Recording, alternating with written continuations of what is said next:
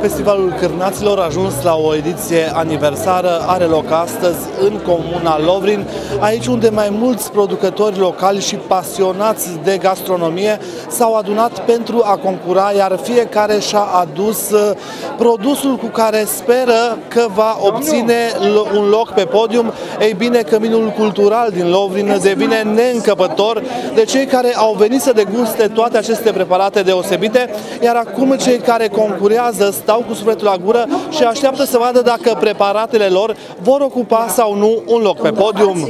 Acest gen de evenimente a fost uh, înființat Uh, uh, și pornit de colegii de la noi Banater Zeitung în 1972. Um, ei au făcut într-un cadru deosebit de restrâns în redacție, că astfel, numai astfel se putea la vremea aceea, în, într-un cadru restrâns, în redacție, unde redactorii uh, erau și juriu, veneau 30-40 de persoane.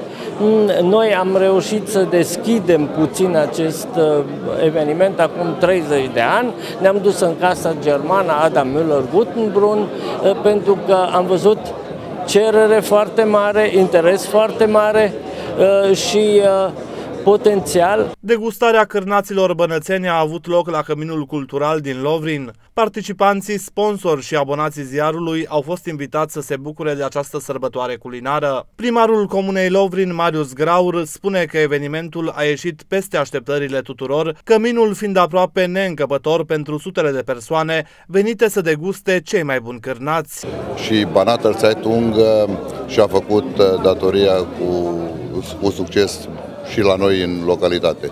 Țin să vă spun că a fost colaborare maximă din partea noastră, cu atât mai mult că Lovrin a fost o localitate cu preponderent de etnie germană pe timpuri și noi vrem să reînviem aceste tradiții cu evenimentele care sunt acum și care vor urma, atât pe plan uh, sportiv, cultural, uh, deci etnia germană ca să reînvie în localitatea noastră.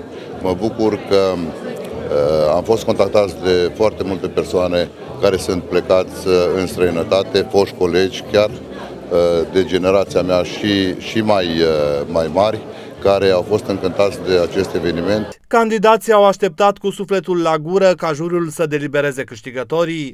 Observ că jurizați, cum este până acum? Este strânsă această competiție? Păi suntem la început, dar se pare că e promițător. În prima fază ne-am uitat să vedem după aspect și urmează degustatul care să vedem cine ce-o băgat în el.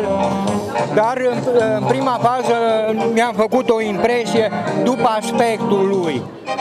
Urmează să, să, să vă întreb, pe partea de aspect, toți concurenții s-au calificat, ca să spun așa? Toată lumea e, dar din, dintre ei, cei mai buni după aspect, deja i-am cam știu despre produs.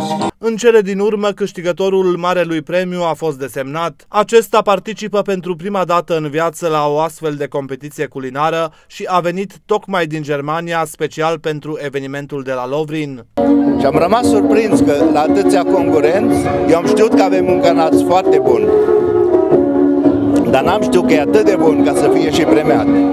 Pe lângă degustarea cârnaților și a altor preparate tradiționale, cei prezenți la eveniment s-au putut bucura și de muzică și dans.